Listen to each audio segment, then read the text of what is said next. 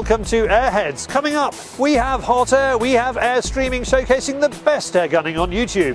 First, what do pellets mean? Pellets mean prizes, and that's why world champions have gathered to win cash prizes at Lee Valley in Hertfordshire. It is the first HFT Masters.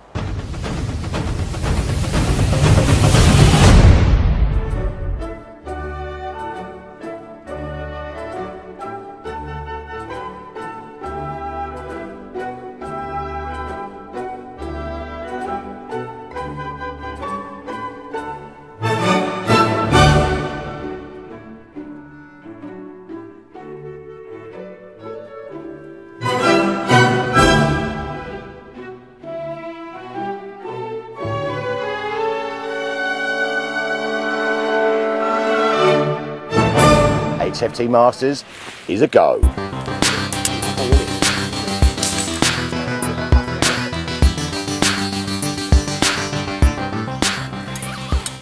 There's passion in HFT, and it's clear to see at the first ever HFT Masters. Naturally, there's opening night nerves, but the car park is filling nicely. Roger and seasoned course designer Ian Bainbridge have spent many months bringing this all together. It's nerve wracking, let's say that. Uh, but here we are at Lee Valley, the first, first venue. It looks, it looks a wonderful, wonderful turnout, and I can only say thank you to everybody that, that, that have come and, and have supported us. Unlike other competitions, competitors are allowed a look around the course before it starts. Another commitment the organisers have made is inclusivity. Ian wants anybody to be able to come along and give it a go. First and foremost, it should be enjoyable and be shootable by all. Uh, whether you're nine years old and coming for the first time to shoot HFT, or a veteran, or a world champion. I mean, uh, today we have three world champions here. Uh, but at the same time, my course was designed for the nine-year-old who's left-handed or a disabled. Uh, they will be able to shoot that course, no problem at all. The setting couldn't be better. A sun-dappled bluebell wood isn't bad for a first outing, and Ian has taken advantage of the Lee Valley topography, placing targets high, low, near and far. So what are the chances of someone clearing it? Over the over the years, I've been dead against anybody, anybody clearing any one of my courses. Today, I hope somebody clears it. Whether there will, there's a little bit of breeze coming up. Uh, but as I said, as I said to you just now, it's all there in front of you. There's nothing Mickey Mouse. There's nothing uh, that's going to frighten anybody, whether you're a newbie or whether you're uh, one of the world champions. Uh, it's all there to be shot.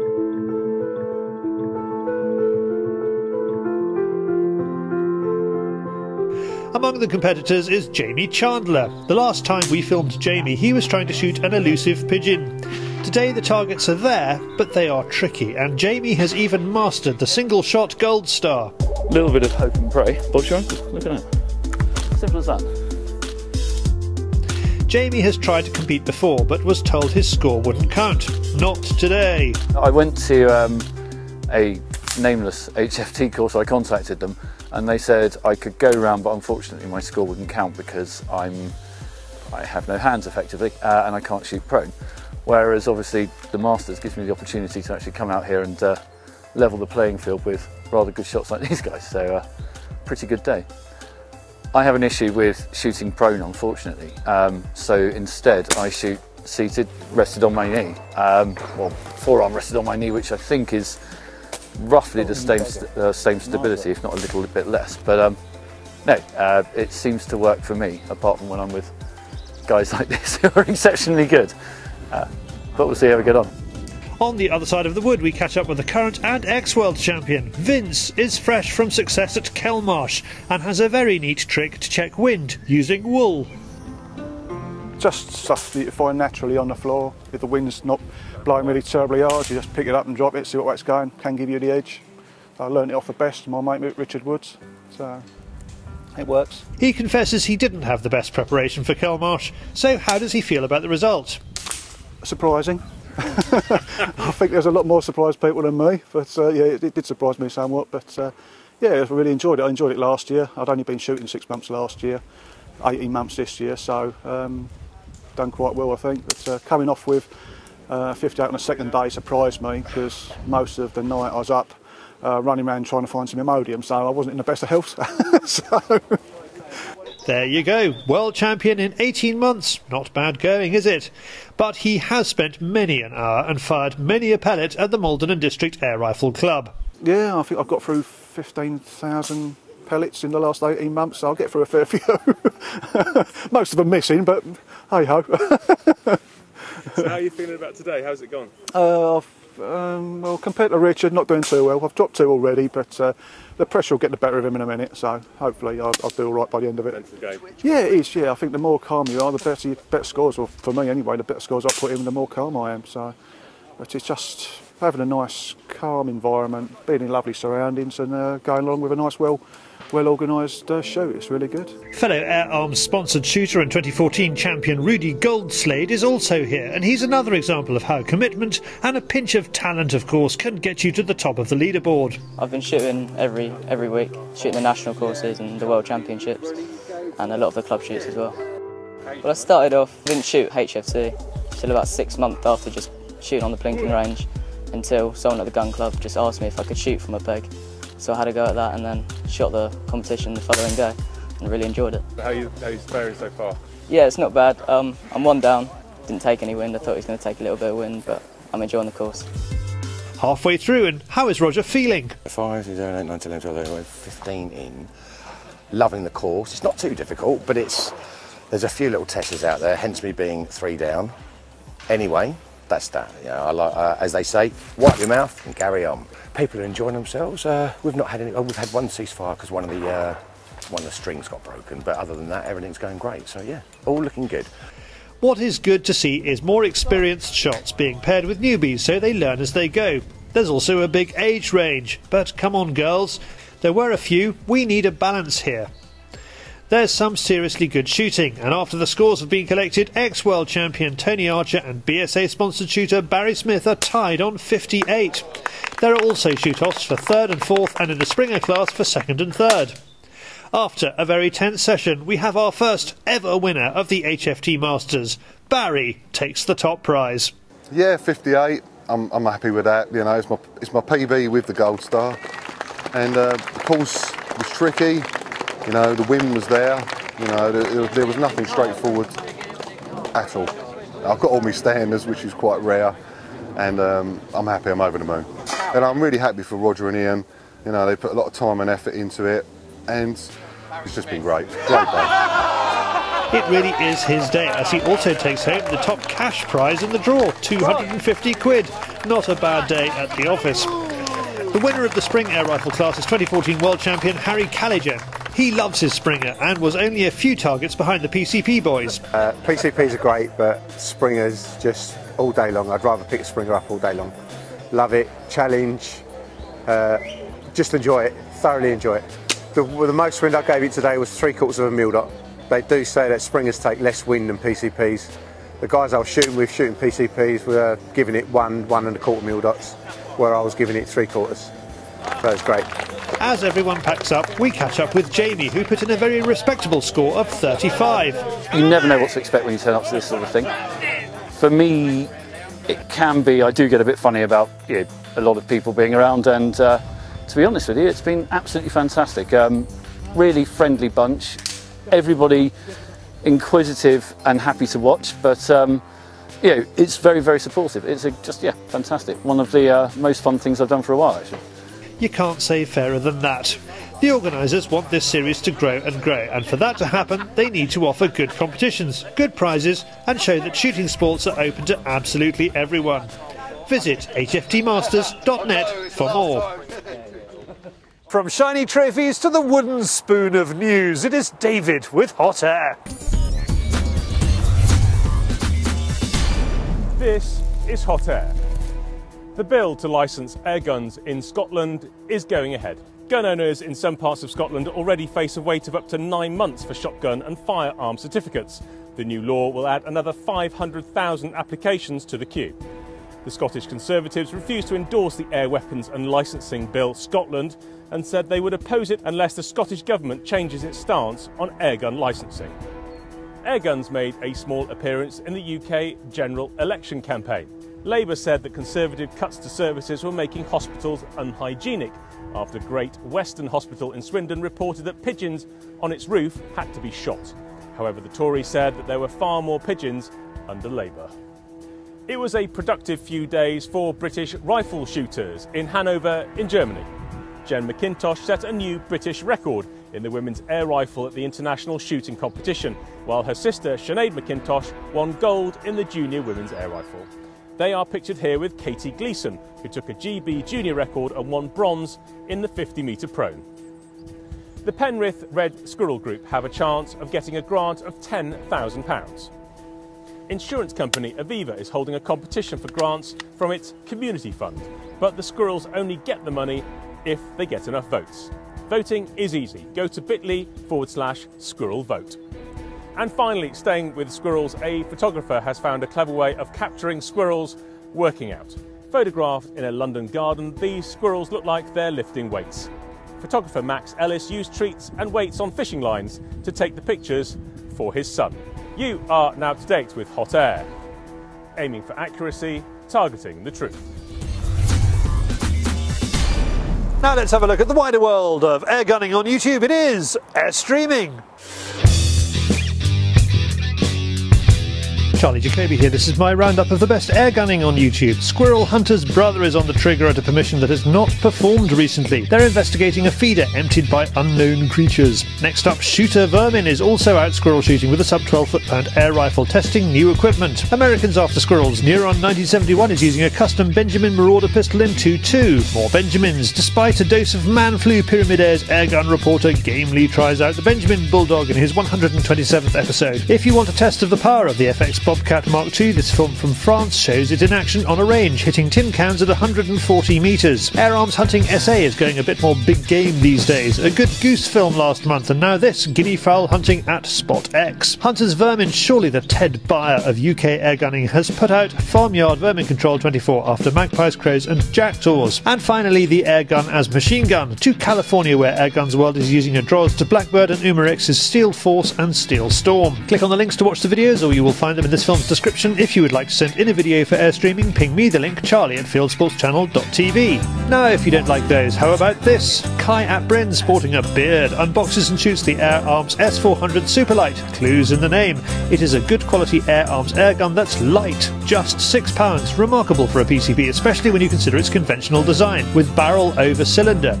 Use of poplar wood instead of beech trims nearly half a pound off the weight.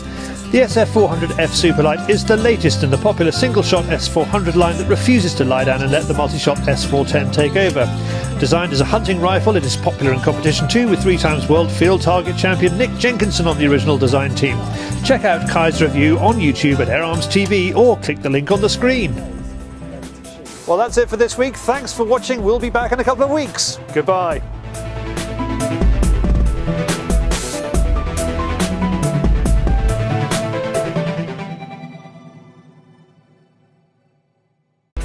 How to lure squirrels into bait boxes with the shooter with no hands, Jamie Chandler, plus using thermal on rabbits with Darren Rogers, plus hot air airgun news, plus air streaming. Welcome to Airheads.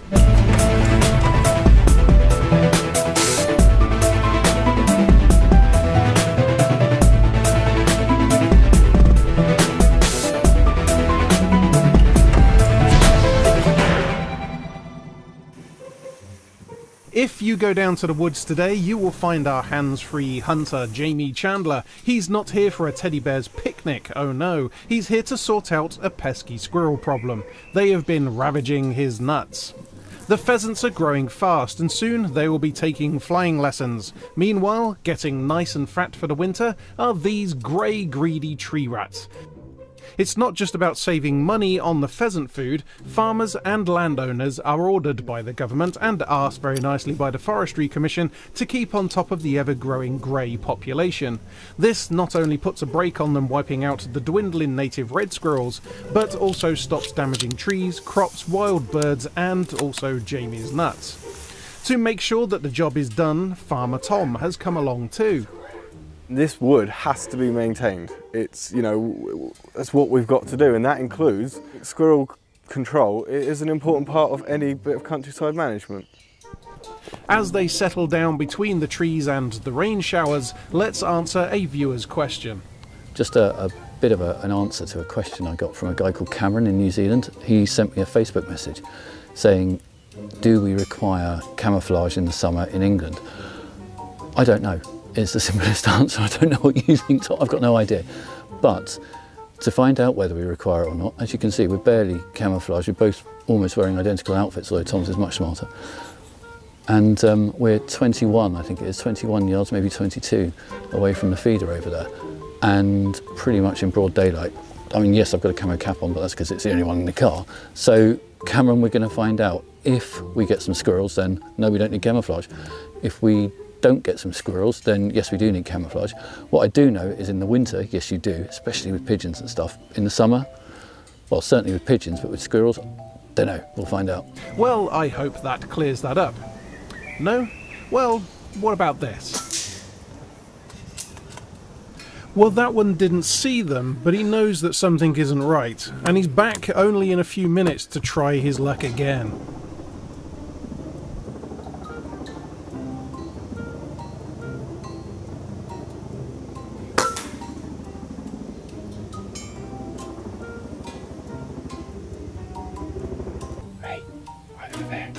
Sitting quietly even without camouflage sometimes grants odd rewards, like seeing this young family of deer popping through the woods only metres away. Back to the squirrels, and now there are two.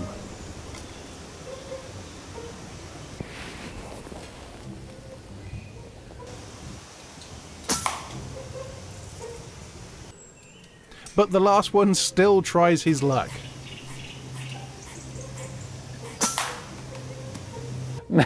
Another brilliant afternoon and dodging showers as well. So lucky with the weather, so lucky. It was throwing it down this morning. It really was. Yeah. It really was. So uh, Cameron from New Zealand's question, to be honest with you, mate, today it made no difference, did it? No difference at all. Yeah, um, we could have been out there in, in bright yellow mankinis and I think the squirrels still came in. They had no interest in, in us being there. The deer, obviously that came snuggling through, didn't see us at all until we kind of made it obvious we were there. That fox, there was a fox, we didn't catch it on camera, but wow, that was seven yards from us chasing that pheasant. Yeah. That yeah. was that was amazing. I haven't actually seen that. No, that was that was, it was quite something actually. Yeah. Countryside stewardship. Protected, done a little bit, done yeah. our part today. Uh, protecting your shoot. Done a lot more. Yeah. Yeah. Keeping your grumpy keeper happy. Never ending battle. Winners. Thank you very much. Brilliant. Superb. Thank you, Jamie and Tom. Now, from Grays on the Nuts to a nut on the news, it's David with Hot Air.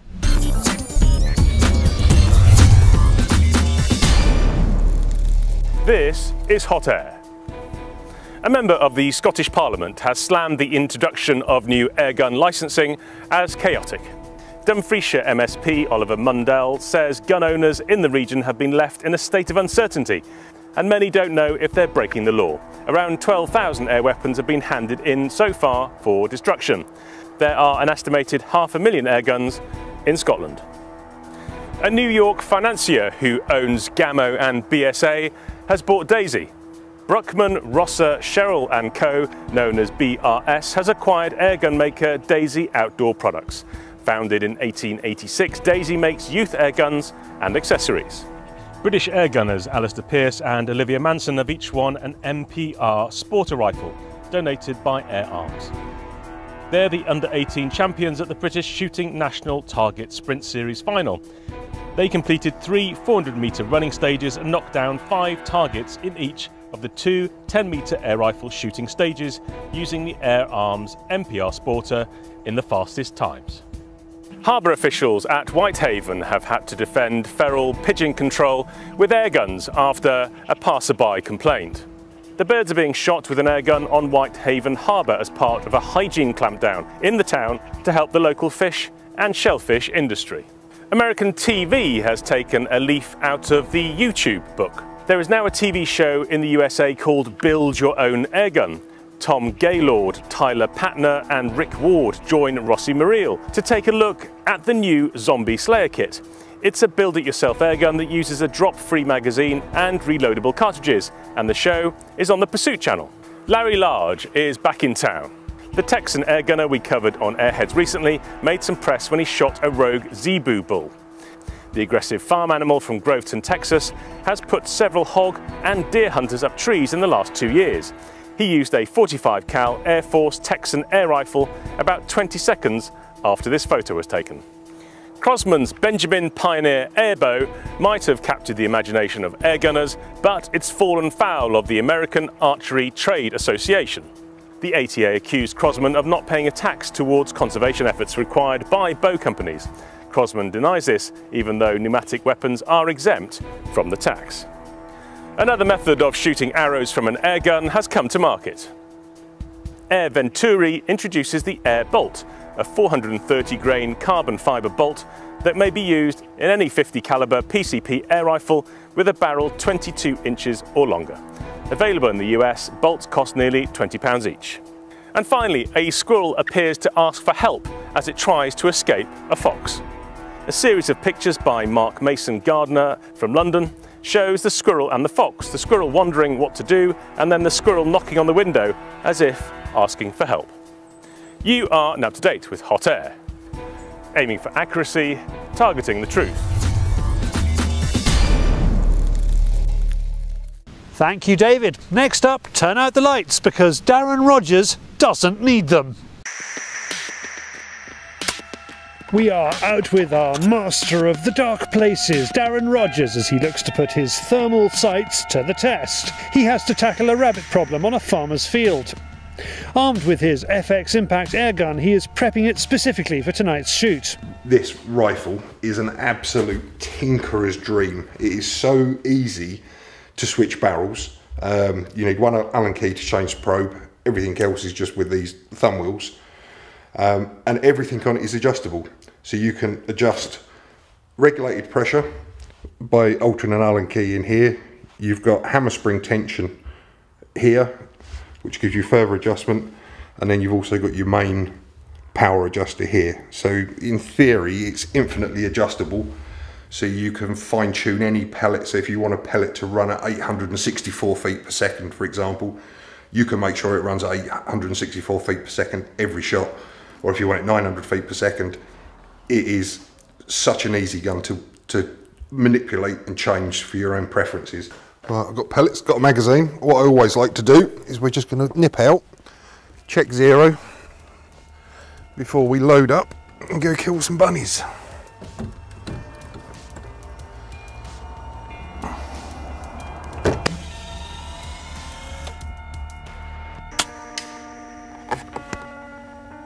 Determined to get this one that wants to eat me. Gotcha. It won't eat me anymore. So as you can see, two minutes spent on the range. We're now spot on zero. So it's only down to me now. I've got no excuses for missing. With the Optics Identifier 60 thermal sight on top of the Gator, we can see more than your average night shooter, and we can even see why there is a lack of rabbits in parts of the fields. Someone's little cat, obviously out catching mice and voles and chasing young rabbits around. And it doesn't take long before Darren is putting the FX and the thermal sight to work as he bags his first rabbit of the night. So all I use the spot the thermal for is just to give me a heat source. So we saw there was a rabbit there. I can't shoot this because there's a neighbouring property behind here and the boundary finishes there, so I dare take a shot. But this is one of the beauties with thermal, is as soon as you see a rabbit, you get the heat source and there it is. The sight is picking up rabbits in the distance that cannot be seen with the naked eye.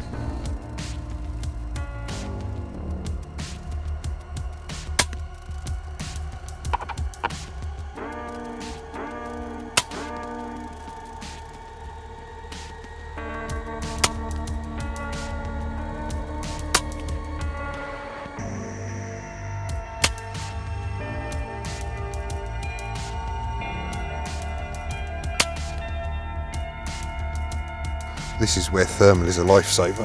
Where the grass is long in here. You see, nice beautiful right between the ear and the eye. classic headshot. But we'd have never found that without the thermal.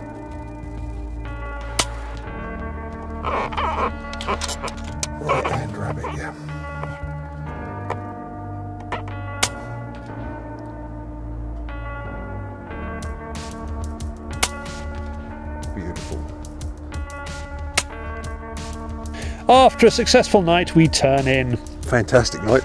That was uh, everything was against us. The grass was too long. Weather's been against us all day, but yeah, the quality of that FX Impact in 2.5 was just superb. For more about FX airguns, go to a-s-i.co.uk. Ace work by Darren there. Now to the wider world of air gunning on YouTube. It is air streaming.